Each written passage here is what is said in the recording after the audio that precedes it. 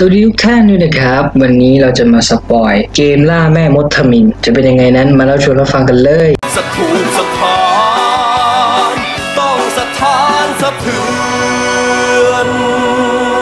เรื่องราวมันเริ่มต้นตรงที่พระเอกนะฮะเขามีเพื่อนสมัยเด็กคนนึงแล้วสองคนนี้ก็เล่นด้วยกันบ่อยๆเขาก็เป็นคนที่ชอบดูดาวมากๆด้วยความที่มันยังเด็กเนาะพระเอกก็เลยถามไปว่าเนี่ยเคยเห็นเอเลี่ยนไหมนางเอกก็ตอบไปว่าเคยสิเคยเห็น ถ้านายเห็นนายต้องเชื่อนะ สุดท้ายพวกเขาก็ปีนเขื่อนกัน แต่โชคดีไม่เข้าข้าง พวกเขาเดินตกลงมาซะอย่างนั้น ซึ่งก็แน่นอนฮะตกมาจากที่สูงขนาดนั้นพระเอกก็รักษาตัวหลายอาทิตย์เลยทีเดียวพอพระเอกออกมาครับเขาก็ได้ข่าวร้ายเกี่ยวกับนางเอกว่าเอ้ยนางเอกตายไปแล้วนะเอเวลาก็ผ่านไปจนกระทั่งพระเอกขึ้นม .5 เขากลายเป็นเด็กเรียนที่ค่อนข้างจะฉลาดเขาก็ใช้ชีวิตนักเรียนของเขาอยู่ดีๆนี่แหละจนกระทั่งนางเอกย้ายเข้ามาพระเอกก็แบบเฮ้ยมึงจำกูได้ไหมเนี่ย อะไรประมาณนั้นนางเอกมันก็แบบเฮ้ยมึงเป็นใครวะอะไรอย่างนี้พระเอกมันก็อยากพิสูจน์นะฮะก็เลยบอกให้นางเอกชูรักแร้ขึ้นมา เพื่อที่จะดูไฟที่มันอยู่ใต้รักแร้แต่นางเอกมันก็เข้าใจผิดคิดว่าพระเอกเป็นคนลามกก็เลยตบหน้าไปหนึ่งทีฮะแล้วหลังจากนั้นนะครับพวกเขาก็ไปเรียนว่ายน้ำกัน ซึ่งในคาบเนี่ยก็มีคนโชคร้ายโดนท่อดูดเข้าไปกำลังจะจมน้ำตายและโชคดีที่นางเอกมาช่วยทันหลังจากที่นางเอกช่วยเขาคนนั้นไว้แล้วนะฮะคนต่อไปที่นางเอกต้องช่วยก็คือพระเอกนางก็มาหาพระเอกที่หอดูดาวนะครับแล้วก็มาเตือนเรื่องนี้แหละพระเอกมันก็ไม่เชื่อมันก็เดินกลับบ้านเองหน้ามึนน้อยเฮียสุดท้ายเป็นไง โอ้โหฝนตกขนาดนี้ ดินก็ถล่มลงมาดีครับ แค่นั้นไม่พอไฮไลท์จริงๆมันอยู่ที่หินเว้ยโชคดีที่นางเอกมาช่วยทันแล้วนางเอกก็บอกประมาณว่าเนี่ยฉันคือผู้ใช้เวทมนต์ห้ามบอกเรื่องนี้กับใครเด็ดขาดอธิบายนิดนึงนะ จริงๆแล้วมันไม่ใช่เวทมนต์หรอกมันเป็นพลังที่ได้จากการทดลองเว้ยกูก็ไม่เข้าใจเหมือนกันว่าทำไมมันเรียกว่าเวทมนต์ ทั้งด้านที่ความเป็นจริงแล้วอะต้นต่อของพลังแม่งมาจากวิทยาศาสตร์นะเว้ยแล้วนายเอกก็ย้ำกับเพจอีกรอบนะครับว่าห้ามบอกใครเด็ดขาดก่อนที่นางจะเดินหนีไปหลังจากนั้นนะครับนางเอกก็ไม่มาโรงเรียน จนทำให้ครูนะฮะต้องเอาแบบฟอร์มการย้ายโรงเรียน แล้วก็คู่มือทัศนศึกษาไปให้พระเอก เพื่อให้พระเอกเนี่ยส่งต่อไปให้นางเอกอีกทีนึงซึ่งพระเอกเนี่ยเขาก็ไปหานางเอกนางเอกที่ไม่รู้ตัวนะก็ก็ร้องไปเรื่อยๆจนกระทั่งพระเอกทักขึ้นมานางก็เลยหน้าแดงแล้วพระเอกกับนางเอกก็คุยกันนะครับไอ้ทีนี้พระเอกก็ได้ยินเสียงบางอย่างออกมาจากภายในบ้านพระเอกก็เลยจะเข้าไปดูแต่นางเอกก็ใช้เวทมนต์เขาเรียกว่าพลังแล้วกันเรียกเวทมนต์แล้วไม่ขัดปากที่หมายเลยนางเอกก็เลยใช้พลังขู่พระเอกไป แล้วก็บอกว่ามึงกลับบ้านไปซะพระเอกก็กำลังกลับบ้านแล้ว แต่ก็ลืมไปว่าเอ๊ะกูเอาเอกสารมาส่งไม่หว่าเออมันก็เลยต้องกลับไปเอาไปให้นางเอกทีนึงทีนี้พระเอกก็เห็นนางเอกคุยกับใครสักคนอยู่เขาก็เลยเข้าไปดู แล้วก็พบว่าเอ้ยผู้หญิงคนนี้นอนอยู่เฉยๆได้ว่ะมันเป็นตุ๊กตาเปล่าวะกำลังจะเอื้อมมือไปแตะแล้วแต่นางเอกก็เอามาห้ามก่อนบอกว่าเขาคนนั้นยังมีชีวิตอยู่นะ ซึ่งนางเอกก็เฉลยนะครับว่าคนที่เห็นนิมิตอะไม่ใช่นางหรอกคนที่มีพลังเห็นอนาคตก็คือเธอคนนี้เนี่ยแหละแลกกับการไม่สามารถขยับขยื่นได้นอกจากมือซ้ายซึ่งพวกแม่มดเนี่ยเขาก็คุยกันนะครับว่าเอ้ยเนี่ยใครเด็กโดนจับตัวไปแล้วนะป่านนี้ก็คงน่าจะไปสบายแล้วล่ะวันต่อมานางเอกโดนเรียกให้อ่านหนังสือหน้าห้องนางก็อ่านแบบผิดๆถูกๆจนพระเอกไม่ทนไม่ไหวพาออกไปนอกห้องอะแล้วก็บอกว่าเอ้ยมึงอ่านคัจจิได้แค่ปหนึ่งใช่ไหมเนี่ยซึ่งราที่คุยกันอยู่นั่นเองคณะหรือน้องผมเหลืองเนี่ยเขาก็ติดต่อมานะครับว่าเอ้ยเนี่ยเห็นนิมิตแล้วจะมีคนตายตรงนี้ตรงนี้ตรงนี้ไปหยุดหน่อยอะไรประมาณนั้นพระเอกนางเอกก็วิ่งไปจนกระทั่งไปทะเลาะกับป้าคนหนึ่งแล้วก็มีปากมีเสียงกันพอเคลียร์กันจบคุณป้าคนนั้นก็ขับจักรยานหนีไปก่อนที่พวกเขาจะได้ยินเสียงอุบัติเหตุ แล้วก็โชคดีที่ไม่มีใครตาย ใช่ครับคนที่ถูกช่วยเหลือก็คือคุณป้าคนนั้นนั่นแหละเรียกว่าช่วยด้วยความบังเอิญของแท้เลยเนี่ย และในวันต่อมานางเอกก็มาเรียนด้วยสภาพที่เหมือนโดนกระทืบมานางก็บอกว่าไม่เป็นไรไม่เป็นไรเรียนได้พระเอกเขาก็เป็นห่วงไงก็เลยตามมาดูที่บ้าน พอตามมาดูปรากฏว่าโอ้โหนางเอกไม่เลือดท่วมตัวเลยนางก็เลยบอกให้พระเอกพาไปที่ครัวหลังบ้าน ก่อนที่จะหยิบยาชนิดหนึ่งมากิน แล้วก็อธิบายว่าเนี่ยยาเย็นเนี่ยจะช่วยต่ออายุวันต่อวัน ซึ่งยาพวกนี้นะครับนางเอกกินเพื่อยืดเวลาชีวิต รู้สึกว่าเม็ดหนึ่งยืดได้ 35 ชั่วโมงมั้งถ้าจะไม่ผิดถ้าไม่กินก็ตายอะเออแล้ววันนั้นพระเอกมันก็ไปตัดฟืนเล่นนางเอกก็เลยเดินมาทักคุยกันไปคุยกันมาพระเอกก็สังเกตเห็นควันแล้วก็รีบไปดูกัน ปรากฏว่าบ้านไฟไหม้ซึ่งก็โชคดีนะที่คณะและตัวสื่อสารไม่เป็นอะไร แต่ว่ายาโดนเผาจนเกลี้ยงเลยพวกนเอกก็เครียดแล้วก็ไม่รู้ว่าจะทำยังไงต่อไปพระเอกมันก็ใช้ความฉลาดของมันแก้ไขสถานการณ์แบบประมาณว่าเอ้ยกูจำได้นะว่ายาเฮี้ยนั่นน่ะ มันมีอักษรแล้วก็เลขอยู่ ถ้าเราวิเคราะห์ดีๆ เราก็จะรู้ว่ายาเฮี้ยเนี่ยแม่งผลิตมาจากที่ไหน และดูครั้งที่พระเอกความจำดีมากพระเอกก็เลยวิเคราะห์จนกระทั่งรู้ที่ผลิตยาพวกเขาก็เลยตัดสินใจว่าเนี่ยจะบุกไปขโมยยากัน ซึ่งงานเนี่ยต้องใช้แฮกเกอร์ ซึ่งเจ๊ของชมพูเนี่ยแกก็ต่อรองมาครับขอยาครึ่งขอที่มึงปล้นได้พวกเวก็เลยแบบอ่าได้ได้ได้ได้ แล้วก็ทำการบุกโรงงานกัน ซึ่งก่อนไปเนี่ยคณะก็เตือนนะครับว่านางเห็นนิมิตที่นางเอกจะต้องตายแต่นางเอกก็ยืนยันที่จะไปให้ได้พอไปถึงก็เจอแม่มด Double A ต้อนรับอยู่ Double A ในที่นี้ไม่ใช่กระดาษนะเว้ยคือแม่มดเนี่ยเขาแบ่งระดับกัน เริ่มจาก D C B A A A Triple A แล้วก็ S และนางเอกก็เข้าปะทะกับแม่มดคนนั้น ก่อนที่จะเสียท่าจากนั้นก็สู้ต่อนะครับจนถึง limit พระเอกที่ดูอยู่ห่างๆยังห่วง ก็เลยไปเห็นไฟที่หน้าอกของนางเอกแล้วก็แบบว่าเอ้ยคนนี้คือคุโรเนโกะแน่ๆเพราะว่าตอนเด็กอะไฟมันอยู่ข้างๆ แต่ว่าพอโตขึ้นอะหน้าอกมันใหญ่ขึ้นไงมันก็เลยเลื่อนจากใต้ไหล่มาเป็นหน้าอกแทนก็ทำไมอีนี่จำกูไม่ได้วะก่อนที่เขาจะนึกย้อนไปว่าอ๋อคณะเคยบอกไว้ว่า ทุกครั้งที่นางเอกใช้พลัง จะต้องเสียบางสิ่งบางอย่างที่สำคัญไป ซึ่งสิ่งนั้นก็คือความทรงจำของนางนั่นเองพระเอกที่รู้ว่าเพื่อนสมัยเด็กยังมีชีวิตอยู่เขาก็เลยรวบรวมความกล้าวิ่งเข้าไปจะช่วย แต่ก็ไม่ทันแล้วนางเอกโดนฆ่าตามนิมิตเป๊ะถึงอย่างนั้นพระเอกก็ไม่ทิ้งความหวัง วิ่งเข้าไปแทงหัวใจแม่มด แล้วก็บอกว่าเอาซิย้อนเวลาซิเอาเลย ก่อนที่แม่มดคนนั้นจะฟันพระเอกทิ้งแล้วก็ย้อนเวลากลับมา แต่ด้วยความที่นางใช้ความสามารถย้อนเวลาทำให้นางถึง limit แล้วก็ hang up คือถ้านางไม่ hang up มันคืออะไรมันก็คือแบบเอาแบบประมาณว่า overload ไม่สามารถใช้ได้มากกว่านี้แล้วอะไรประมาณนั้น และด้วยความที่นาง overload นี่แหละทำให้พวกพระเอกเอาชนะได้อย่างง่ายๆเลยก่อนที่จะจับมัดไว้แล้วก็เค้นข้อมูล แต่ยังไม่ทันจะได้ทำอะไรเลยอีกฝ่ายก็ปลดชนวนทำให้เจ๊คนนี้ละลายไปในที่สุด ก่อนที่พระเอกนั้นจะเห็นบางสิ่งบางอย่างเลื้อยออกมาไม่รู้ความขยะแขยงเขาเลยกระทืบมันจนตายเลย หลังจากนั้นนะครับพระเอกนางเอกก็เอายาให้พวกคณะก่อนที่เจ๊ของโยบูเนี่ยแกจะเอายาไปกล่องหนึ่งแล้วก็บอกว่าขอบคุณที่ทำธุรกิจด้วยกันหลังจากนั้นพวกเขาก็ไปทัศนศึกษากันก่อนที่พระเอกจะรู้นะครับว่าความเป็นจริงแล้วนางเอกเรียนเก่งมากๆ แค่นางใช้พลังมากเกินไปจนสิ่งที่เรียนรู้มามันหายไปหมดพระเอกก็ใช้ชีวิตกับนางเอกไปเรื่อยๆแหละจนกระทั่งนางเอกยื่นสิ่งสิ่งหนึ่งให้พระเอกแล้วก็บอกว่าเนี่ยคือไซโกดของมนุษย์ต่างดาวจริงๆไม่ได้มีแค่นั้นมันมีอันนั้นด้วยมีเครื่อง terminal และด้วยความที่พวกเขาตากฝนกันมาเขาก็เลยว่าจะไปอาบน้ำแล้วเนี่ยอาบอยู่ดีเจ๊ผมชมพูก็มาข้างหลังเว้ยก่อนที่นางจะแก้ผ้าแล้วก็บอกว่าเนี่ยหันมาดูสิหันมาดูสิโน่นนั่นนี่พระเอกที่ทนความกวนตีนไม่ไหวก็เลยหันไปจะห้าม แต่ก็นั่นแหละเจอของดีเข้าเต็มๆและด้วยความที่พระเอกเห็นหน้าอกของเจ๊แกไปแล้วนะเจ๊แกก็เลยแถแบบประมาณว่าเนี่ยมึงต้องชดใช้ด้วยการอนุญาตให้กูมานอนนี่แล้วอย่างที่ทุกคนคิดแหละฮะวันต่อมาเจ้ของโชฟูก็ไปเข้าเรียนที่ห้องเรียนของพระเอกเว้ยนี่ก็แบบโอ้ยเฮ้ยแล้วพระเอกก็เรียกเจ้ของโชฟูไปปรับทัศนคตินะครับแบบเฮ้ยเนี่ยมีนักเรียนย้ายเข้ามาไล่เรียกกันมึงคิดว่าเขาจะไม่สงสัยเหรอ ก่อนที่จะมีสมาชิกใหม่เข้ามา ซึ่งคนคนนั้นก็คือโคโทริหรือ น้องผมส้มของเรานั่นเอง แล้วสมาชิกใหม่คนนั้นเนี่ย เธอก็แนะนำตัวให้กับคนอื่นได้รู้จักนะครับ ทีนี้พระเอกมันก็แบบเอ้ยอยากดูดาวอะ มันก็เลยบังคับทุกคนในชมรมอะไปดูดาวด้วยกันแล้วหลังจากนั้นนะครับพระเอกก็มาคุยกับเจ้ของชมพูเรื่องนางเอกแบบประมาณว่า ทุกครั้งที่นางเอกใช้พลังนางเอกจะสูญเสียความทรงจำไม่ใช่ไหมเจ้ของชมพูก็บอกเออใช่พอคุยกันเสร็จปุ๊บพวกเขาก็เตรียมตัวแล้วก็ไปดูดาวกัน และระหว่างที่พากันดูดาวอยู่นั่นเองนะครับพระเอกก็เหลือไปเห็นฮาเดสของโคโตริเข้าบวกกับคณะนะฮะก็เสือกเห็นนิมิตอีกนางก็เลยเดาว่าโคโตริอาจจะเป็นคนฆ่านางเอกก็ได้พระเอกนะครับ มันก็เลยเดินไปถามตรงๆเลยว่าเอ้ยเนี่ยเธอเป็นแม่มดใช่ไหมโคโตริก็บอกเอ้ยรู้ได้ไงเนี่ยพระเอกก็บอกเอ้าก็กูเห็นฮาเดสอยู่ข้างหลังนึงอะโคโตริก็ถามต่อว่าแล้วรู้เรื่องฮาเดสได้ยังไง อีสามคนที่เหลือก็พูดเสริมนะว่าอ๋อพวกกูทั้งหมดเนี่ยเป็นแม่มดพร้อมกับท้าโคโตริเนี่ยใช้เวทมนต์ให้ดูหน่อยโคโตริก็ใช้เวทมนต์ให้ดูนะครับซึ่งเวทมนต์ของเธอเนี่ยก็คือการสลับที่ใช้แค่ครั้งเดียวแม่งก็ hang up แล้ว อ่าพอหมดปัญหาพวกเขาก็ไปดูดาวกันต่อ ระหว่างกลับนะฮะคณะก็คุยกับพระเอกเรื่องนี้แหละเรื่องนิมิตแบบประมาณว่าเอ้ยนิมิตเปลี่ยนไปแล้ว คนที่จะตายอะไม่ใช่นางเอกแต่เป็นมึง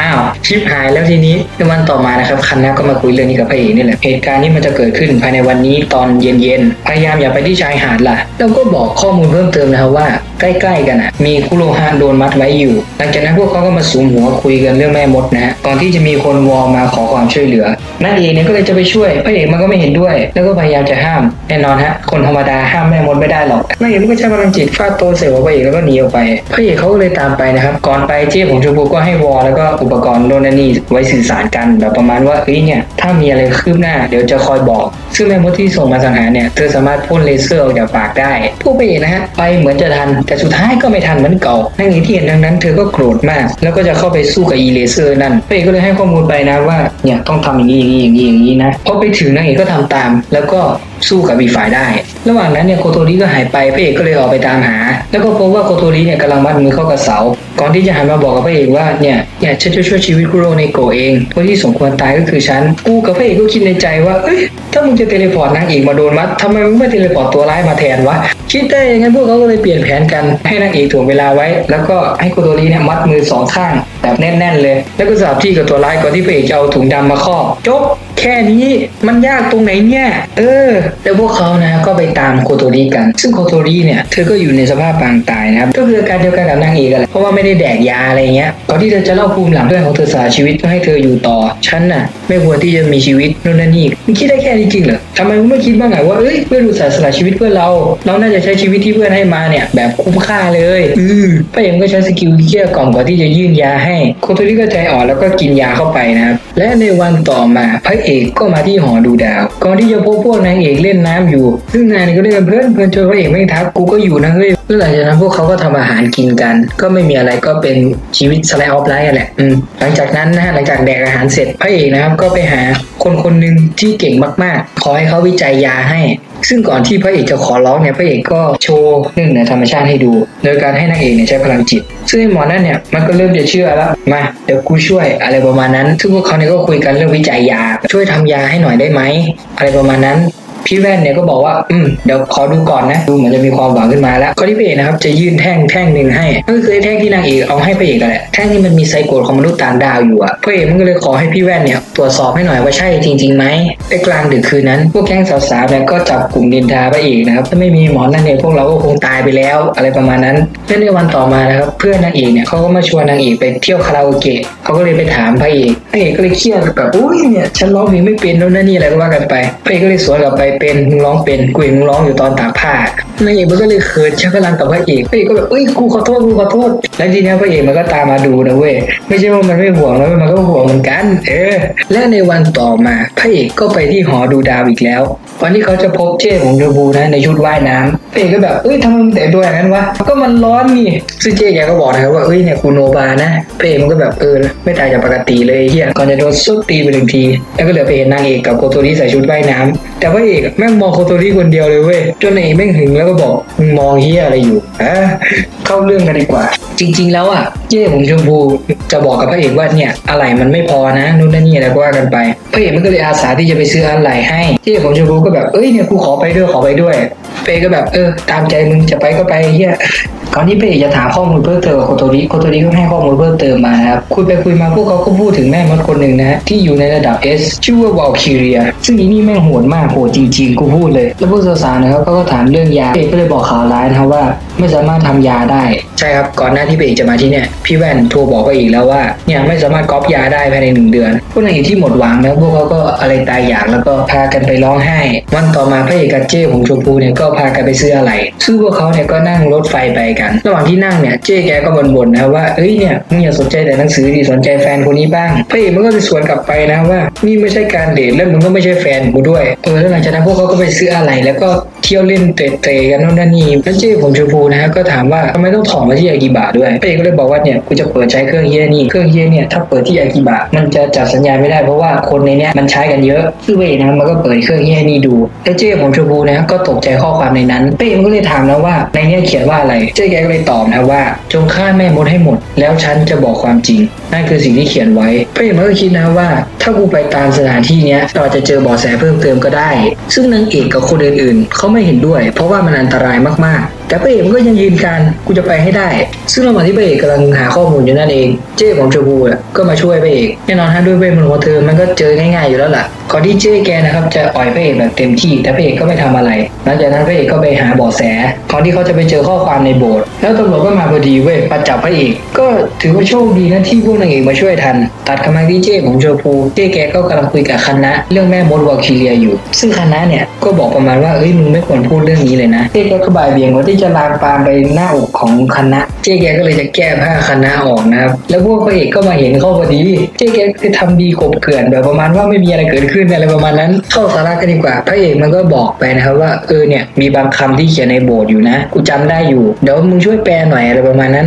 พระเอกก็เลยบอกว่าเนี่ยเดี๋ยวกูจะลองใส่ password ดู ตัดกลับไปที่พวกตัวร้ายบ้าง พวกเขาเนี่ยก็เอานานามินะ มาตรวจสอบความทรงจำของพวกตำรวจ เจอเบาะแสของ1107บ้างไหมนานามิก็บอกว่าเออเป็นไปได้หลังจากนั้นนะพวกเขาก็ไปที่ที่คนเยอะๆแล้วก็ไปตรวจดูความทรงจำของคน มีใครรู้จักพระเอกบ้างพวกเขานะครับก็สืบไปเรื่อยๆสืบไปเรื่อยๆ แต่จุด peak มันอยู่ตรงนี้เว้ยนายมิเนี่ยบอกให้ผมม่วงว่าจริงๆ แล้วกูแก้ไขความทรงจำได้ก่อนที่นายจะใช้พลังให้คนแถวนั้นมาช่วยนะแล้วนายก็หลบหนีไปหลังจากนั้นเนี่ยนายก็ใช้ให้แม่สาวผมน้ำตาลเนี่ยไปตามพระเอกมา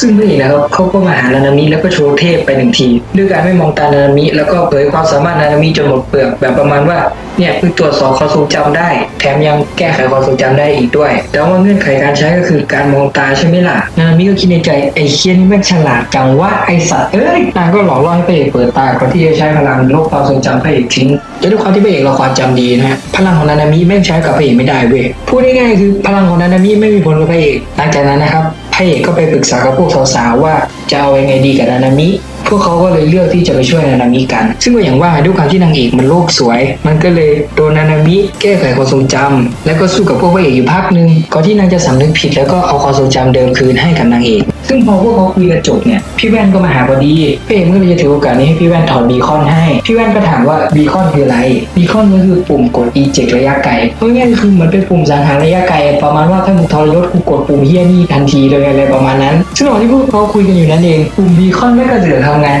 เอาะง่ายคือนานามิอะละลายไปต่อหน้าต่อตาพระเอกเลยเว้ยซึ่งก่อนตายเนี่ยนางก็ลบความทรงจำทุกคนทิ้งยกเว้นพระเอกเพราะว่าพลังของนางใช้กับพระเอกไม่ได้ผลอยู่แล้วนางก็เลยถือโอกาสเนี้ยเขียนตัวตัวของนางทบความทรงจำพระเอกไปเลยแบบประมาณว่ากูจะอยู่แค่ในความทรงจำของมึงคนเดียว หลังจากเหตุการณ์วุ่นวายจบลง พวกเขาก็ต้องมาสอบปลายภาคกันชมรมแก๊งดูดาวเนี่ยพวกเขาก็พากันติวกันไปเรื่อยๆก่อนที่พระเอกจะนึกขึ้นได้นะว่าเออถ้ามันไม่มีแรงจูงใจ มันก็ไม่มีใครอยากจะได้คะแนนดีๆหรอกเขาจึงเสนอนะว่า ถ้าได้เกินค่าเฉลี่ยกูพาไปเที่ยวทะเลเลย ซึ่งคุยไปคุยมาเจ้ของชมพูก็วกเข้าเรื่องจูบซะอย่างนั้นวกเข้าเรื่องจูบไม่ว่าแม่งเสือกอวดใส่คนอื่นด้วยนะว่าเอ้ยเนี่ยกูกับพระเอกเคยจูบกันมาแล้วพระเอกก็หึงเลยครับหักต้นไม้ทิ้งเลยพระเอกมันก็ถามนะว่ากูไปจูบกันตอนไหน เจ้ของชมพูก็บอกว่าเอาที่เมคคาเฟ่ไง แค่แดกช้อนเดียวกันก็ถือว่าจูบแล้วแหละไอ้เหี้ยตกเย็นพระเอกมันก็เห็นนางเอกร้องเพลงอยู่ชื่อเอกเนี่ยเขาก็ไม่อยากจะขัดจังหวะ แต่ด้านไปเตะกระป๋องพอดีสุดท้ายก็ได้คุยเปิดใจกันบอกที่พระเอกจะรู้ความจริงนะครับว่านางเอกอะลืมเรื่องคาราโอเกะไปแล้ว พระเอกมันก็สงสารเลยนะว่าโอ้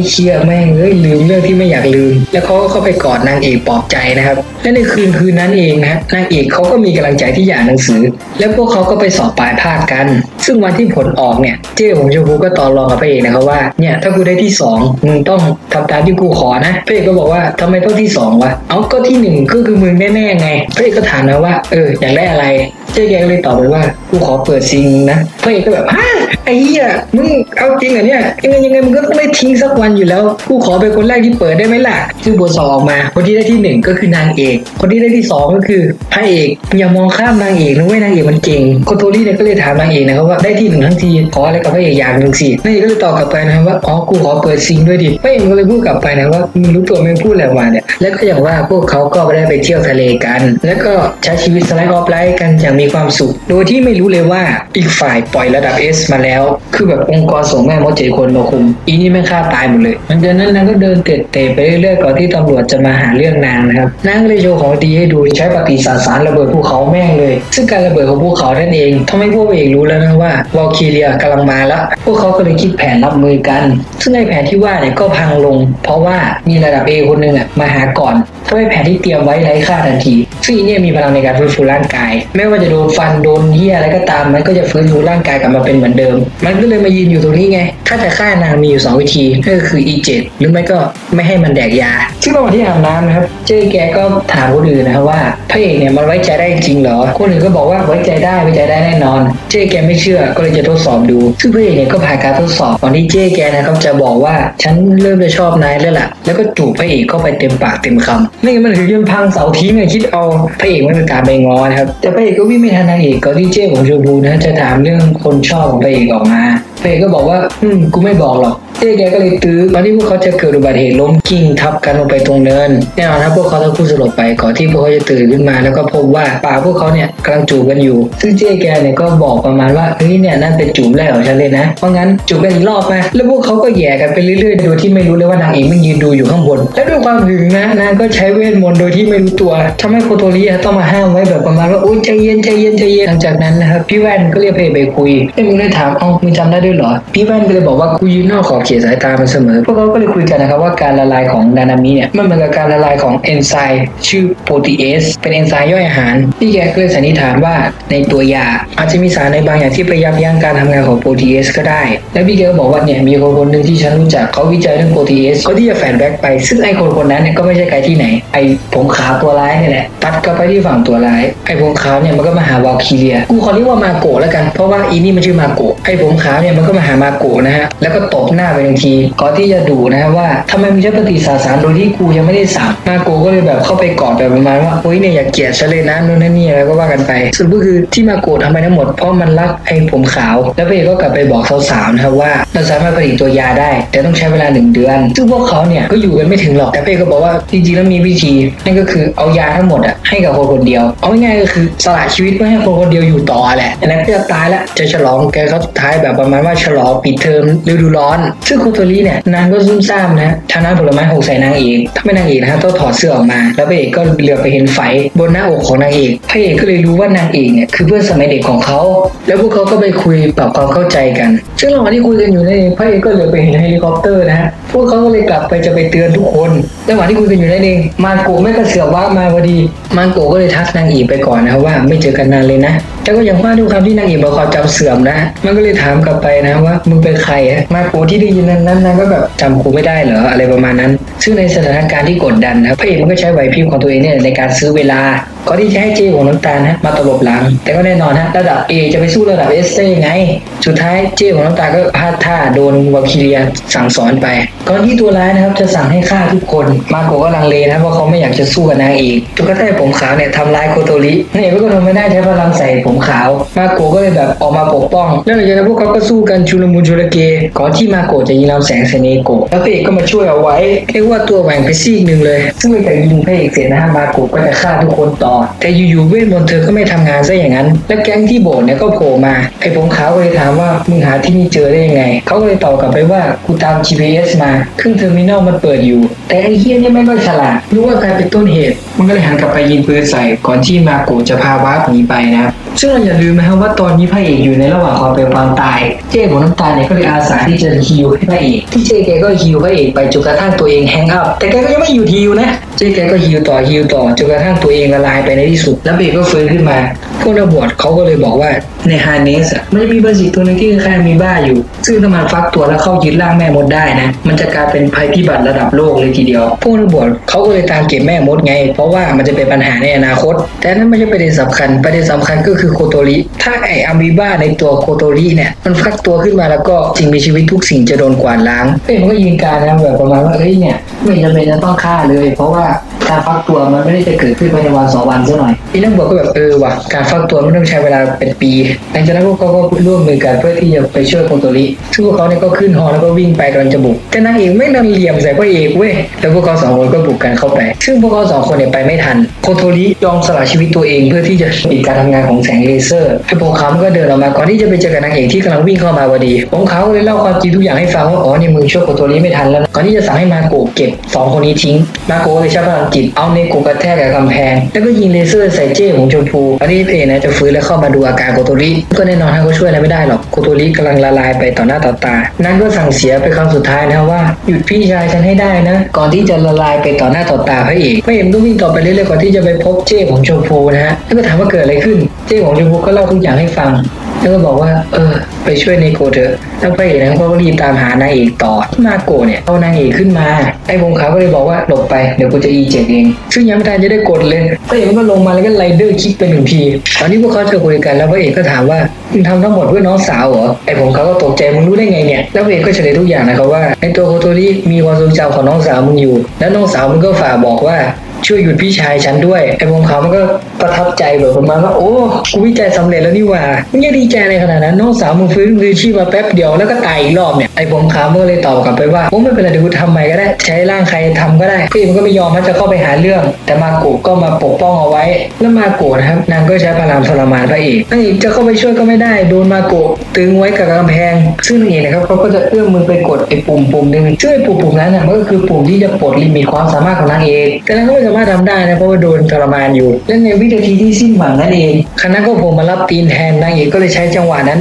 กดเลยฮะซึ่งไอ้การปลด limit นี้เองทำให้เธอได้ความทรงจำทั้งหมดคืนมา รวมถึงพลังทั้งหมดด้วย แล้วเธอก็ใช้พลังนั้นนะฮะสู้กับมาโกะแล้วพวกเขาทั้งคู่ก็ล้มลงไปนะฮะมาโกะก็เลยจะยิงแสงเลเซอร์ซ้ำแต่เวทมนต์นั้นไม่ทำงาน ใช่ครับพวกนักบวชไม่มาที่นี่ ก่อนที่พวกเขาจะกระหน่ำยิงใส่มาโกะแต่สิ่งที่ไม่คาดคิดก็ดันเกิดขึ้น เพราะให้ผมขาวดันมารับกระสุนแทนซะอย่างนั้น มาโกะที่โมโหมากนางก็เลยจะใช้ปฏิสาสารระเบิดที่นี่ทิ้งนางเอกที่เห็นดังนั้นนะเขาเลยใช้พลังหลุมดำขนาดย่อมปฏิสาสารเจอหลุมดำมันก็หักล้างกันอะเออมันก็ไม่ถึงขั้นไม่มีอะไรเกิดขึ้นหรอกคือมันไม่ใช่ไม่มีความเสียหายนเวแต่ว่าความเสียหายมันน้อยกว่าการใช้ปฏิสาสารเยอะ ซึ่งพอใช้พลังเสร็จนางเอกก็กำลังจะตกลงไปแล้วโชคดีที่พระเอกมาช่วยทันก่อนที่พระเอกจะชวนคุยนู่นคุยนี่นะครับแบบประมาณว่าเฮ้ยก็ยังช่วยไม่เป็นไรแล้วนางเอกก็เลยถามกลับไปคำหนึ่งคุณเป็นใครเหรอคะแน่ไหนไอ้เหี้ยใช้พลังขนาดนั้นถ้าความทรงจำมึงยังอยู่ก็เกินไป